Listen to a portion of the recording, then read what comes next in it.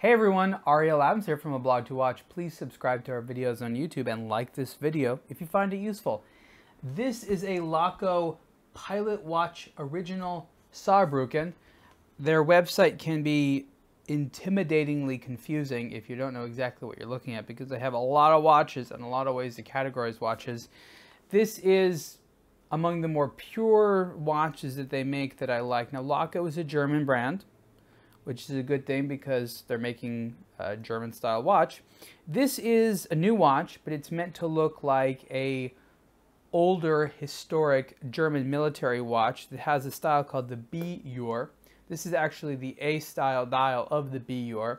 And the idea was that the um, German Aviation Ministry or something like that came up with a few dial styles that pilot watches needed to have, and then you had various companies making them. So this wasn't really like a watch that one particular company made historically, but there was a few.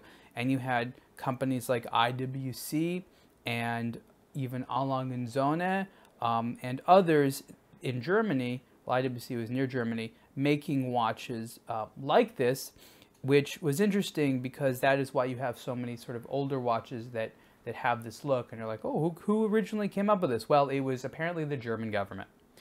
This is the 45 millimeter wide version, and there's also a 42 millimeter wide version if you want something a little bit smaller. I opted to go for the 45 millimeter wide version because pilot style watches of this type are always kind of large. So you always want to err on the side of large.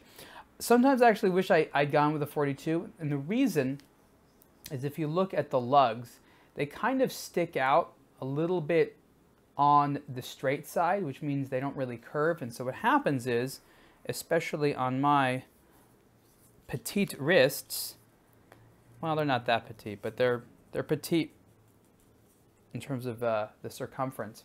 You can see that the lugs stick out a little bit. And again, on this type of watch, because it's meant to be larger, uh, dare I say oversized, in some instances, yes, it, it, it, it's okay. It's also not a particularly thick watch, um, so it doesn't make it look too big. But that's something to be considered of if, if you have a pet peeve of the lug sticking out. And, and arguably, the, the lugs should not be sticking out past your wrist. So there is a 42 millimeter wide size. Uh, the 45 millimeter, um, I think the 42 millimeter is called the Munster, whereas the 42 mil, uh, sorry, the 45 millimeter is a Saarbrücken, and these are, of course, places in Germany. It's also a sterile dial, which is cool because it doesn't say Laco or pretty much anything at all on the dial. There is no text. There's only the hour numerals, and then you have this sort of signature 12 o'clock hour marker that you see on a lot of pilot watches. Black dial. The hands are actually blue color with the lume.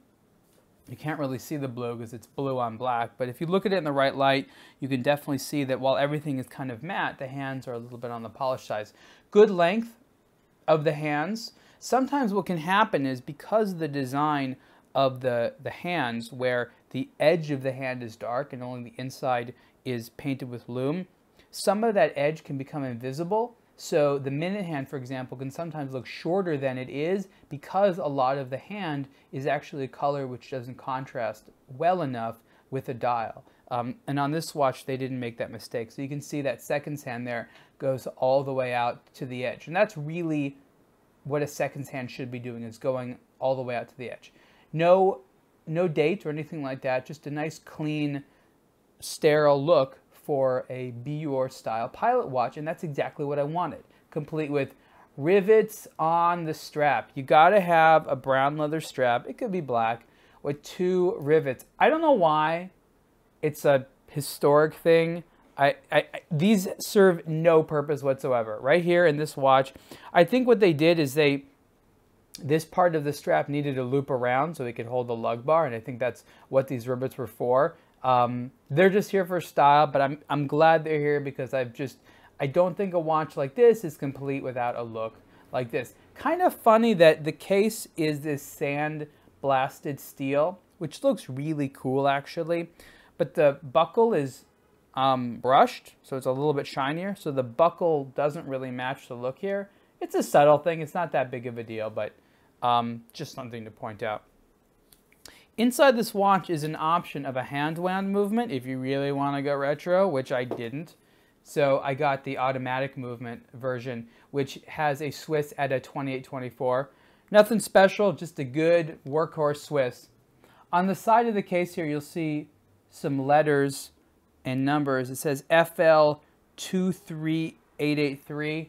That's not a serial number. That's not some special code. That was part of that designation of the dial style for the German military. So that was some number related to that. So that basically tells you that this watch satisfies that particular design.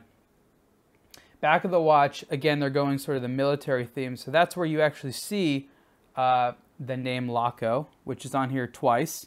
Um, it's in German, so that's cool. They have the designation, they have the uh, model number, but it's just meant to look a little bit more like an actual instrument, which is a cool look. Um, you know, just putting that in the back of the case there, which is which is fun. You know, it just it kind of goes with the theme. There, I mean, it, this is really like a high quality, you know, prop, right? It's a replica of a vintage watch. It's meant to not necessarily say that it's a replica, uh, meaning it's not supposed to look like something from the 40s, for example. It's just meant to look like a, like a, a watch from today with that look. And I think that this is one of the. There's a lot of ways of getting this. Um, each has some are better quality than others, but for the money, I think Laco does a really nice job. The only thing that I would change on the watch, as you see here, it has a domed sapphire crystal. There's coating on the inside. I want there to be coating on the outside. You can see as I move the watch around in the light, there's some glare, which is non-preferable. So what I would have done is put coating on top of the crystal as well as under the crystal so that the dial looked, you know, like this all the time with no glare. And in my opinion, that would have made it really kind of the perfect B-Uhr style or B-Uhr vintage style modern day pilot watch. Overall, I like this a lot. I think that this is really perfect for people that are interested in this period of history. Um, politically sensitive topic to discuss, of course, um, or just sort of like this style. This is a nice, handsome, very legible watch. A lot of people want the look, but they don't want a name or anything like that associated with it. You have a nice mechanical movement inside. So this is a good daily wear. Um, get the slightly smaller size if this size concerns you. Um, they even have quartz versions. So there's the automatic hand wound and the quartz version um, of these pilot watches. The quartz may not be available in one this nice, um, but they do have quartz versions as well. So Laco makes a number of watches like this. You just sort of need to carefully look through the selection. So again, this is the Laco Pilot's Watch Saarbrücken. This is their B-Uhr style. You can even get an aged one. That's right. If you pay like a thousand bucks more, which is actually pretty cheap given what they do, they will pre-age it for you. I've actually wrote an article about that. They're kind of crazy looking, but I want the one that I get to age myself. Retail price for this watch is 990 euros, and you can see the full review on a blog to watch. Thanks.